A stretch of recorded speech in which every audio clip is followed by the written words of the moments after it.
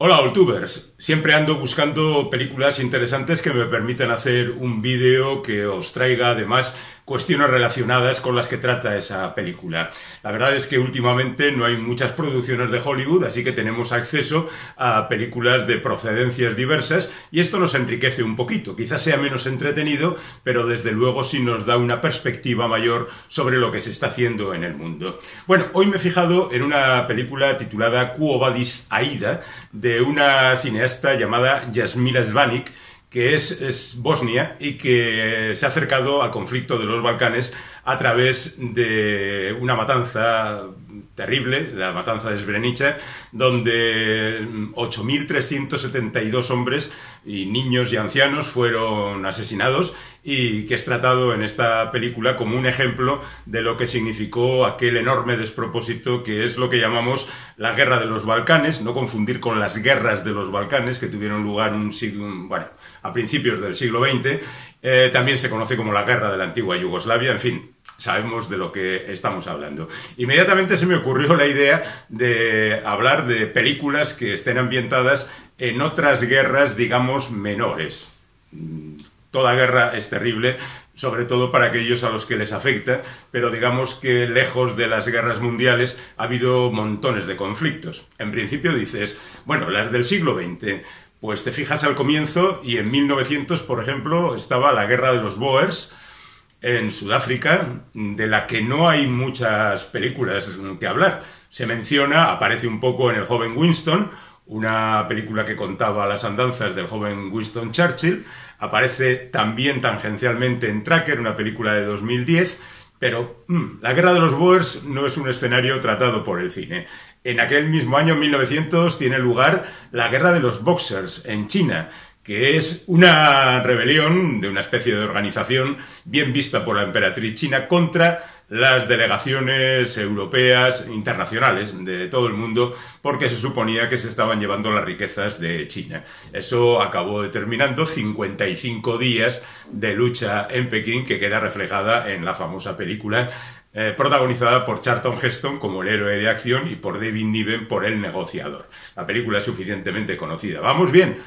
Pero de repente empiezan a surgir conflictos, conflictos, y bueno, la cosa, desde la guerra del fútbol, que duró cuatro días, se la conoce también como la guerra de las 100 horas, entre Honduras y El Salvador, con la disculpa de un partido de fútbol de sus elecciones, pero con otros motivos, por supuesto, hasta el encadenado de conflictos desde Indochina, después Vietnam, o en el caso francés, Indochina, Argelia, etcétera y la verdad es que vamos a hacer una gran superproducción, así que dije, no, yo creo que lo mejor es hablar exclusivamente del conflicto de la guerra de los Balcanes, que ya tiene, porque fueron 10 años de tremendos enfrentamientos y además tremendamente complejos, porque es una historia que viene desde muy atrás y que ha sido tratada en el cine con frecuencia, pero voy a hablar solamente de las películas que yo he visto, porque del resto, pues bueno, podría coger documentación, pero tampoco tengo mm, manera de decir si una película es buena o mala, o está a favor de estos o aquellos, ¿no? Eh, hay, un, hay un buen montón de ellas. Y por ceñirnos a la historia, digamos que es un conflicto que dura desde 1991 hasta 2001, nominalmente, aunque en realidad los conflictos fuertes empiezan en 1992. Y digo que esto viene de atrás, porque en realidad viene de los mayores enfrentamientos vienen desde la Segunda Guerra Mundial, porque las fuerzas del eje deciden que va a haber un gobierno que croata y ese gobierno, los Ustasi, van a ejercer una severa represión sobre otros pueblos de lo que conocíamos como Yugoslavia, fundamentalmente los serbios y los bonios. Aquello queda larvado, esos enfrentamientos, y estallan, ya digo, a partir de 1991. Durante mucho tiempo se mantiene la situación, porque después de la Segunda Guerra Mundial el mariscal Tito, que ha agrupado a los que se enfrentaban a los nazis, toma el poder, pero Tito muere en 1980 y durante una década se van presentando enfrentamientos más o menos eh, soterrados hasta que con la desaparición de la Unión Soviética en el año 91 cada país que formaba la antigua Yugoslavia decide montar su propia independencia, decide separarse de los demás y en ocasiones eh, viven una especie de temporada de cuchillos largos que recurren a la venganza y a la masacre más eh, escandalosa. Mm, nombres como Kosovo o Bukovar o Srebrenica o Sarajevo o Mostar se convierten en algo que no conocíamos y que de repente aparecen todos los días en las noticias. Bueno, pues ese conflicto alcanza fundamentalmente a las etnias mencionadas y también a los que practican una religión u otra, porque aquí tenemos cristianos, tenemos ortodoxos, tenemos musulmanes y junto con las diferentes nacionalidades que cada uno de ellos tiene está también la cuestión religiosa.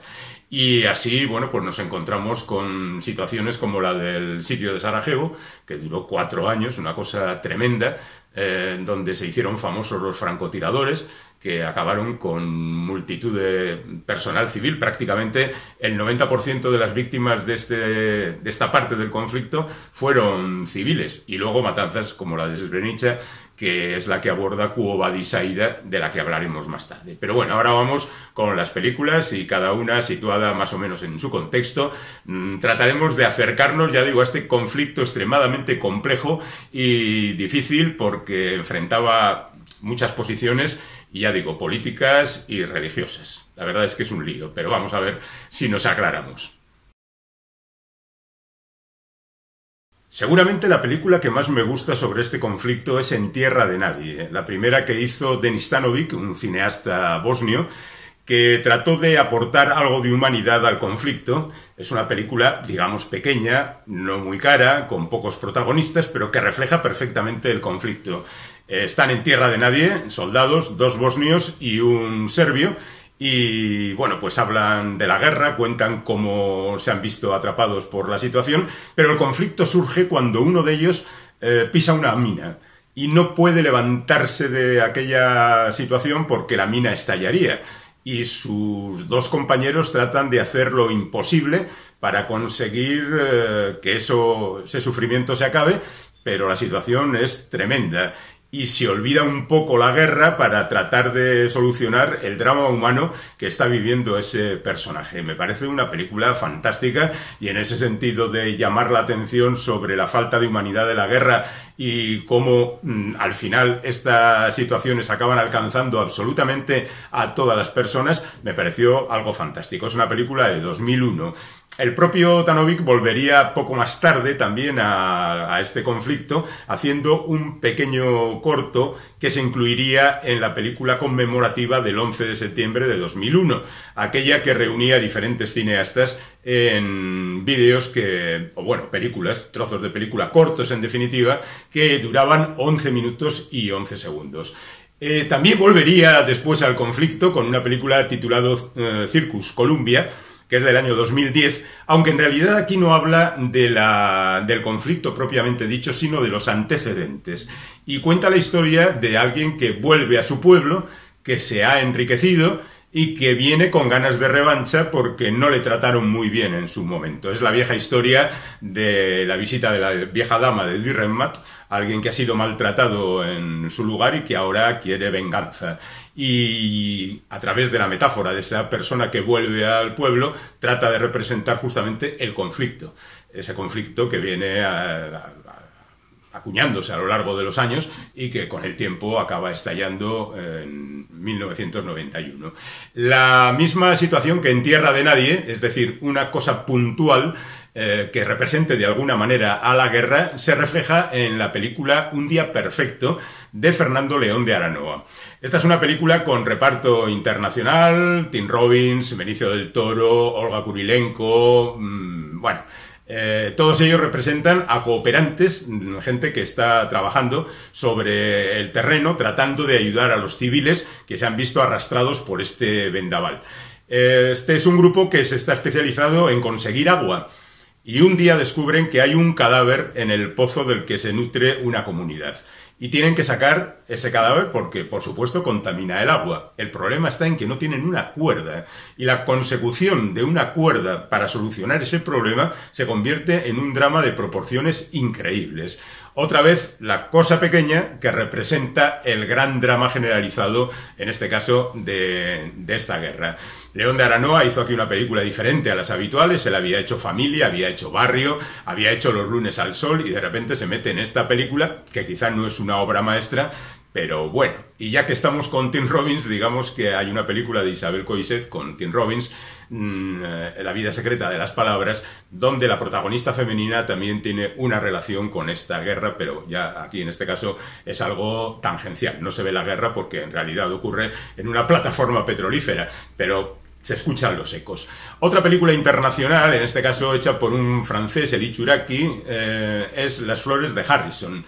donde aparecen ya los reporteros. Aquel fue un conflicto que estuvo narrado prácticamente al detalle, prácticamente en directo, con la presencia de muchísimos medios internacionales que contaban qué es lo que estaba ocurriendo. En el caso de esta película se habla del Harrison, del título, que es un periodista, está interpretado por David Strathairn, que quiere dejarlo ya, que ha vivido demasiados conflictos, que está harto de todo esto y que em, decide hacer su último trabajo en, en, este conflicto. Y se va para allí y desaparece. Entonces le dan por muerto, pero su mujer no se rinde y Andy McDowell y va allí a buscar a su marido. Y esa búsqueda a través de los territorios en conflicto es lo que relata la película. Es una película que tiene bastante fama porque está repleta de gente conocida, desde Adrien Brody a Elías Coteas, pasando por un desconocido entonces Gerard Butler.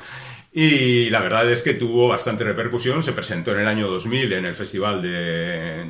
San Sebastián y consiguió el premio a la mejor fotografía. Mm, siguiendo con trabajos internacionales, mencionemos Bienvenidos a Sarajevo, que es una película de Michael Winterbottom. Winterbottom es uno de esos cineastas que a mí me parecen fantásticos porque siempre hacen películas diferentes. Unas mejores, otras peores, da igual, pero él se empeña en adoptar diferentes puntos de vista cinematográfica y, eh, cinematográficos y los tiene verdaderamente altísimos eh, y otros pues que no están tan bien. Digamos que Bienvenidos a Sarajevo es una película de tono medio que habla de los periodistas otra vez que llegan a Sarajevo y que en este caso se empeñan en sacar adelante a una niña que estaba en un reformatorio y que ha sido,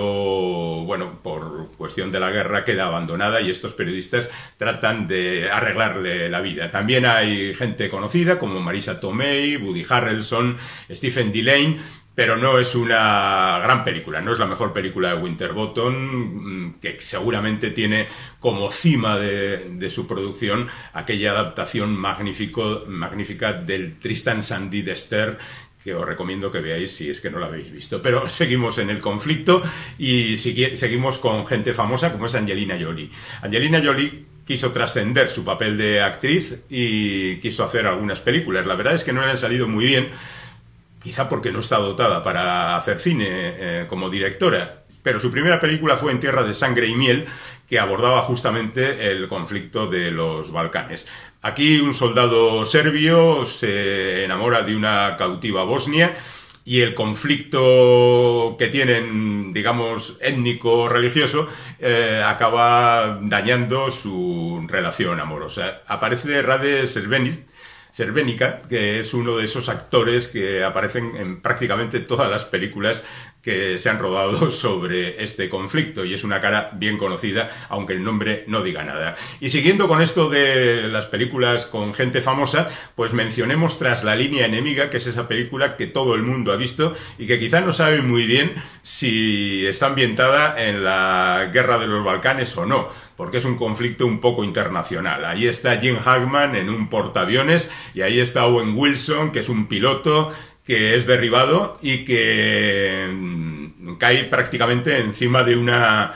fosa común y en el avión ha quedado la prueba, las fotografías de la existencia de esa fosa común. Efectivamente, los culpables de la matanza tratarán de acabar con su vida, le perseguirán y él, eh, como en las mejores películas eh, heroicas estadounidenses, pues huye, recorre el mundo, eh, sale de mil jaleos y por supuesto al final Dean Hackman decide rescatar a su chico y manda allí sus helicópteros para que todo termine bien. Es una película ambientada en la guerra de los Balcanes, pero digamos que más allá de la denuncia de esa fosa común no tiene un análisis medianamente serio sobre la situación. Y esto nos llevaría a otras películas realizadas por gente que conocen muy bien esa realidad. Abordemos ahora el caso de Emir Kusturica. Este seguramente es el cineasta más discutido de todos aquellos que se han acercado al conflicto de los Balcanes, porque él ya es un personaje bastante discutido. Es alguien que nació bosnio y musulmán, su padre era musulmán, en consecuencia él también lo era, pero con el tiempo acabó declarándose serbio. Y con el tiempo acabó denominándose exclusivamente yugoslavo y con el tiempo acabó siendo ortodoxo. Es decir, que ha ido cambiando de posturas, eh, digamos, mm, nacionalistas y también religiosas. Y la película que de alguna manera le define es la película Underground, una película tremenda de tres horas de duración que viene justamente a explicar cómo es el conflicto de los Balcanes, pero lo hace obviamente a través de metáforas. Tenemos a un trío protagonista, los dos hombres están enamorados de la misma mujer, pero uno de ellos, que es una especie de vividor que engaña a los demás, aplíquese ahí lo que cada uno crea que corresponde en el gran conflicto de los Balcanes, eh, acaba encerrando a su amigo, mintiéndole para que no le haga la competencia, y durante mucho tiempo le va mm, diciendo que hay un, la Segunda Guerra Mundial no ha terminado y que él tiene que permanecer escondido, que ella se sacrifica a él por, por él. Y mientras tanto, por supuesto, seduce a la parte femenina del trío. Esto es una metáfora bastante clara en el reparto de las culpas en torno a esta guerra. De hecho, eh, fue muy criticada esta película porque decía que efectivamente daba una visión muy serbia del conflicto, muy a favor de Serbia. De hecho, el propio Kusturica em, tuvo algunas acciones, como por ejemplo asistir al entierro de Milosevic, que no le granjearon precisamente demasiadas amistades. Por otra parte, él junto con, otros intelectuales europeos decidió ponerse de parte de Peter Hanke, que también en su momento se había manifestado a favor de los serbios y que había sido por ello convertido en un apestado, aunque luego le dieron el premio Nobel. Pero bueno, antes Kusturica ya se había manifestado en ese sentido. Y luego, por ejemplo, pues se manifestó a favor de Putin, es decir, que parece un experto en crear eh, amistades, entiéndase irónicamente, entre prácticamente todo el mundo. Pero su cine es magnífico. La verdad es que es magnético y lo ves y te sientes sumergido en él. Hay otra aproximación a este conflicto en la película La vida es un milagro, que es un poco más ingenua, diríamos, que cuenta la historia de un hombre que no acaba de creerse que el conflicto vaya a terminar convirtiéndose en una guerra que su mujer eh, acaba siendo ingresada en un frenopático porque el conflicto le lleva justamente a eso, que más tarde sale de allí y abandona al hombre porque se ha ido con otro hombre, mientras que su hijo es eh, militarizado y convertido en soldado y el bueno de Luca, que es el protagonista, no entiende nada de lo que ocurre. Y esa, perplejidad, ese desorden mental, yo creo que es lo que trata de reflejar Kusturica en estas películas. Ya digo que es sin duda alguna, el cineasta más famoso, quizá junto con Tanovic, de todos los que han abordado estos asuntos y que de alguna manera nacen en ese mismo territorio. Tenemos algunos más, por ejemplo, Milcho Manchevsky, que es macedonio, Macedonia es otra zona que aparentemente no estuvo en conflicto, pero estuvo a punto al final de la guerra de crear otro conflicto entre Turquía y Grecia, con lo cual, bueno, pues también es un sitio de cruce de culturas y donde los resabios de situaciones anteriores habían creado un caldo de cultivo muy peligroso. Bueno, el bueno de Manchesky es, dirigió Antes de la lluvia, que es una película bellísima, sobre tres historias. Son tres historias cortas, dos de ellas se ambientan en la antigua Yugoslavia, una de ellas en Londres, pero con gente que viene de ese territorio y que habla de las dificultades de encontrar la paz, el amor, el sosiego y definitivamente acabar con las armas. Es muy bonita visualmente y es muy bonita también en su mensaje. Además de esto, tenemos eh, la película Sueño de una noche de invierno de Goran Paskayevic, que es un cineasta serbio que no alude directamente al conflicto, pero sí a sus consecuencias. Es la historia de un hombre que vuelve de la guerra, eh, bastante indefinida su postura, se encuentra con una niña autista en el pueblo del que él salió y donde no es muy bien recibido precisamente, y justamente la relación entre este hombre y esta niña es lo que documenta la película. Es cierto que es una película que se pierde mm, en ciertas reflexiones bastante repetidas y que no es una película que te enganche y te lleve directamente al meollo de la cuestión, pero es una película verdaderamente interesante. Otra película curiosa es Avior, que es una película más guerrera que, las anteriores. Está hecha por Pedraj Antonievich, que es un cineasta y que contó con algunas estrellas internacionales como Denis Quaid o Stellan Skarsgård o Natasha Kinski para eh, la película. En esta ocasión se trata de un mercenario que va a la guerra de Bosnia porque hay que ganar dinero y una vez allí descubre los horrores a los que se está viendo expuesto y cómo la situación es absolutamente insostenible. La verdad es que es una película que está más del lado de la acción que de la reflexión, pero es una película interesante. Y en ese sentido casi podríamos decir que hay bastantes películas hechas por otra gente, entre ellos los españoles, que hablan de la guerra de los Balcanes. Ya hemos hablado de la película Un día perfecto, de León de Aranoa, podríamos hablar también de Guerreros, de Daniel Calparsoro, que es una película que habla mm, básicamente también de la guerra, estaría en la línea de Sauer, que mm, habla de un destacamento que se ve atrapado en circunstancias eh, extrañas y donde prácticamente todos los que están frente a ellos son enemigos y contra ellos tienen que luchar. Es una película menos definida, digamos, políticamente, porque sobre todo una película de acción. Hablemos ahora de otra película española que se aleja, digamos, de la ficción para entrar en lo que sería documento, pero en realidad está ficcionada. Se basa hablamos de territorio comanche, se basa en un libro documental de Arturo Pérez Reverte. Un día de estos tendremos que hacer la bibliografía de Arturo Pérez Reverte. Pero bueno, digamos que Territorio Comanche es un libro en el que Arturo, que estuvo en varias guerras y desde luego estuvo en los Balcanes, ajustaba cuentas y contaba su peripecia y contaba la de su cámara, por supuesto, y al mismo tiempo pues hablaba de algunos otros colegas que en aquella guerra se comportaron de diferente manera. Es su visión, es su forma de ver las cosas, no entraremos a discutirla en el libro. Luego, en la película que dirigió Gerardo Herrero, la cosa se suaviza, no hay críticas ni reproches a los compañeros, hay simplemente la muestra de, lo que pasaba allí y cómo los periodistas tenían que hacer su trabajo. Gerardo Herrero es un muy buen productor, pero es como cineasta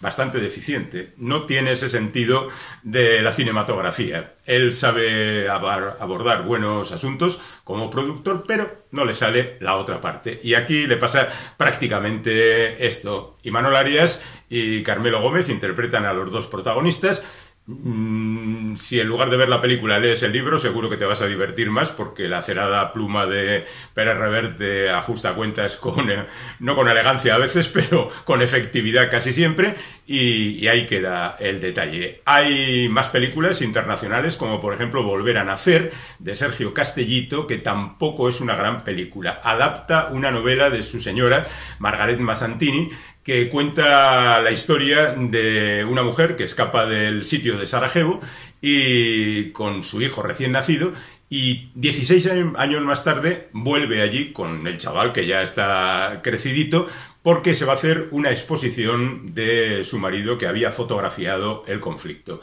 Y ese reencuentro con la situación es lo que viene a contar esta película protagonizada por Penélope Cruz. Hay que reconocer que aquí se cae en ocasiones casi directamente en el ridículo por excesivo y por afán melodramático. Lejos de la documentación, aquí lo que se pretende es contar algo de tirarse de los pelos, que ya una guerra lo es sin duda alguna, pero cuando uno aborda, digamos, artísticamente estos conflictos, tiene que tener una visión digamos, un poco menos, no ya sesgada, sino menos espectacular, menos de grito y más de decir las cosas con concreción. Otra película estupenda sobre el conflicto es Bajo el Sol, del año 2015, que la hizo Daribor Matanik y que cuenta la historia de tres parejas una en 1991, es decir, cuando empieza la guerra, otra en 2001, es decir, cuando acaba la guerra, y otra en 2011, 10 años después de acabar la guerra.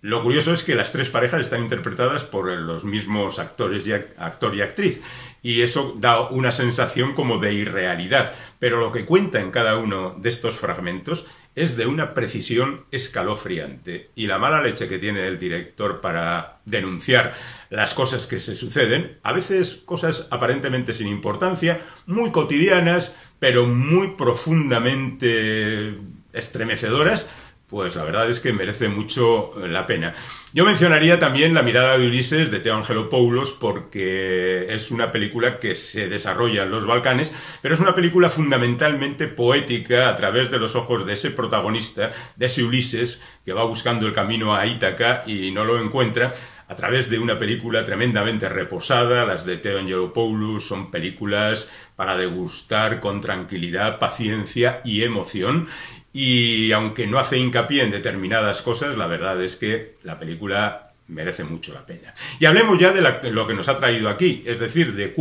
Aida, la película de Yasmila Svania, que se ha estrenado recientemente y que cuenta, ya digo, la matanza de Srebrenica.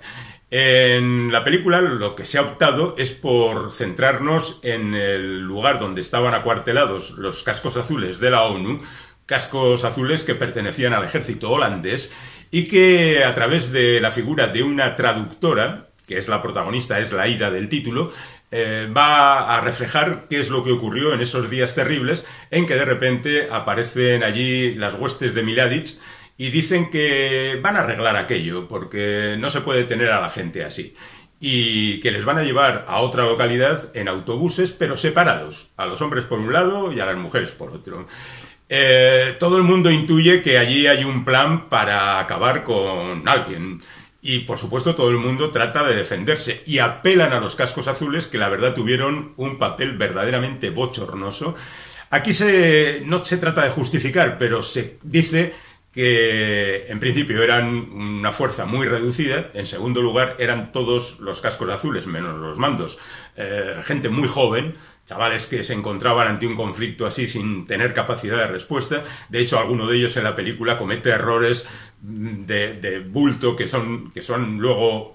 abochornados por sus propios compañeros, que igual corresponden a cuestiones que ocurrieron exactamente, pero sí son representativas, y lo que fundamentalmente se cuenta es la batalla de esta mujer por salvar a su marido y a sus hijos, que en principio son candidatos a la ejecución. Consigue colocar a su marido en el grupo de los que van a negociar con Miladic y bueno, pues cree que gracias a eso está a salvo, pero sus hijos lo tienen más difícil y poco a poco va creciendo la tensión y poco a poco el espectador también se va angustiando porque sabe qué es lo que ocurrió allí, lo decía al principio, 8.372 hombres fueron asesinados por las fuerzas de Miladic y bueno, pues aquello acabó como, como acabó. Y los cascos azules no hicieron nada y Aida pues eh, tiene que cargar con las consecuencias. La película está bien contada, está puntuada por determinados momentos de gran tensión, eh, se supone que lo que se cuenta básicamente es verdad, independientemente de que los detalles no sean los mismos, y eso, de verdad, a pesar de que haya pasado tanto tiempo, 20 años, desde veintitantos en el caso de esta matanza, 20 desde el final de la guerra, nos sigue acongojando y nos sigue planteándonos si verdaderamente el ser humano puede ser tan despiadado, puede ser tan terrible, ¿no? Yo creo que es una película que merece la pena verse, aunque ya digo que sabemos qué es lo que ocurrió, no nos va a descubrir nada nuevo, pero por una parte hace lo que el cine tiene que hacer, es decir, emocionarnos, comprometernos, hacernos sentir determinadas sensaciones, y por otra parte es conveniente que estas cosas no se olviden, y el cine me parece uno de esos medios perfectos para soportar la memoria de las cosas en este caso cosas terribles, también nos gustaría poder soportar o disfrutar la memoria de las cosas agradables. Quo vadis aida, ¿por qué la película tiene un título en latín? Pues la verdad es que resulta curioso, pero llama un poquito la atención, igual es lo que pretendía la cineasta en su momento. Hemos hecho un recorrido por este conflicto tremendo, terrible, sangriento, se calcula que 200.000 personas perdieron la vida,